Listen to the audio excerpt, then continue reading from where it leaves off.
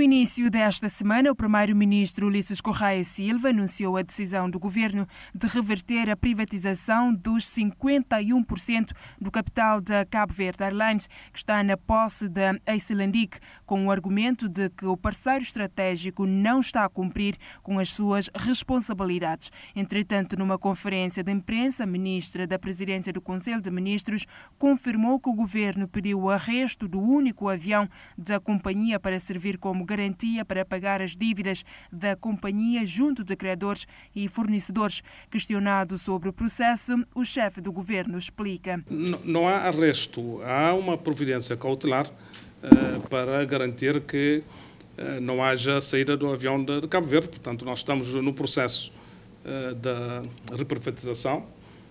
O diploma já foi, já foi aprovado, portanto, seguirá para a promulgação do Presidente da República e, a partir daí, o Governo indicará um novo Conselho de Administração que tomará eh, conta e a gestão da, da empresa. A proposta é no, é no, sentido agora de negociar a saída. Eh, portanto, há questões relacionadas com, com a indemnização, mas o processo é irreversível. Quanto ao novo Conselho de Administração da Companhia Aérea, Ulisses Correia Silva adianta que este será nomeado e conhecido brevemente, sem apontar uma data concreta, mas assegura que vai ser logo após a promulgação e publicação do diploma.